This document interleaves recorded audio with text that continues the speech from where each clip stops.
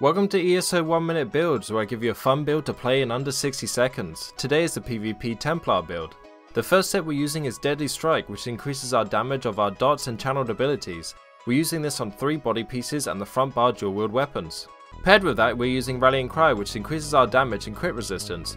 We have this on the back bar weapon, 2 jewelry and 1 body piece.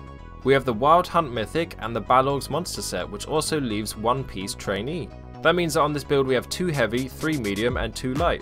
In terms of traits I decided on a mixture of reinforced, divines and well fitted. For skills we're using puncturing sweep, power of the light, binding javelin, radiant glory, blinding flare and shooting star. On the back bar we have channeled focus, race against time, extended ritual, breath of life, rally and swarming scion.